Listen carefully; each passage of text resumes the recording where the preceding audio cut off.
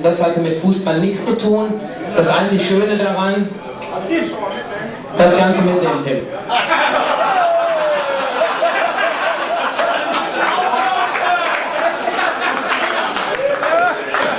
Ich würde mir sehr auch wünschen, Tim, dass du die Bewegung zum Ball genauso intensiv machst wie zum Keeper. Die erste Halbzeit